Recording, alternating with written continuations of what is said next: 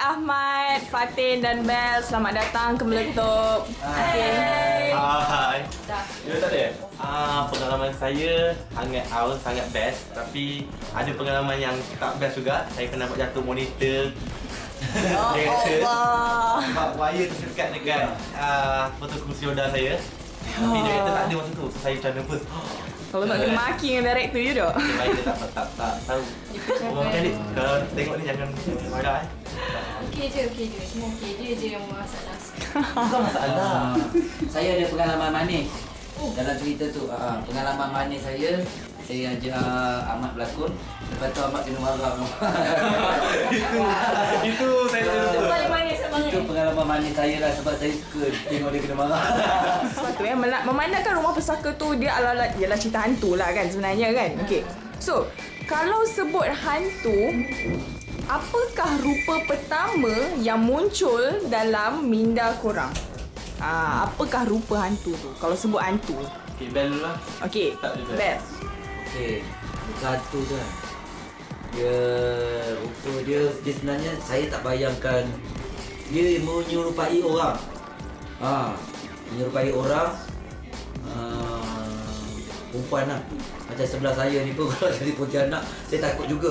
Jadi rupa itulah yang menakutkan saya. Tapi Rupa lagi macam saya- Fatin ke macam mana? Ha, Macam tu. ha, batin lah. Kalau- Tapi kalau yang nak menakutkan lagi, kalau dia menyerupai Ahmad. Itu saya takut. Ah. Okey, okey, okey. So, kalau Fatin pula, apa rupa hantu? Orang. Saya sebab saya seorang perempuan kat sini. Kalau rupa Sian sikit. Kalau rupa hantu tu tak pernah nak tengok lah tapi boleh bayangkan uh, mata dia merah, rambut panjang. Kenapa kalau hantu mata merah? Memang dia menakutkan. Kan Adakah sebab dia shampoo rambut dia batu masuk mata merah? Boleh jadi. Boleh jadi. Boleh jadi, boleh jadi. Ha. Boleh lah, boleh lah. Ambil lah Okay. Ahmad. Kalau Ahmad pula, Ahmad bila nampak hantu Ahmad akan terbayangkan diri Ahmad sebab hantu kan merangkap macam you on. So Ahmad bila Ahmad pakai kursi roda kat rumah Ahmad merangkap. So bila Ahmad tengok diri Ahmad merangkap kat cermin, hantu sial. Uh, ekspresi pertama bila nampak hantu tu depan mata. Benda pertama disebut bila nampak hantu. Hantu Ahmad akan mencarut dulu lah. Ah, okey jangan sebut eh, jangan sebut. Ah, jangan sebut. Lepas tu nanti nanti tak baik. Ahmad akan berdoa dulu. Sebab dia pun dia takkan nak kacau orang OKU. Kita dah lah macam ni nak nak lari macam mana? Mencerit kot.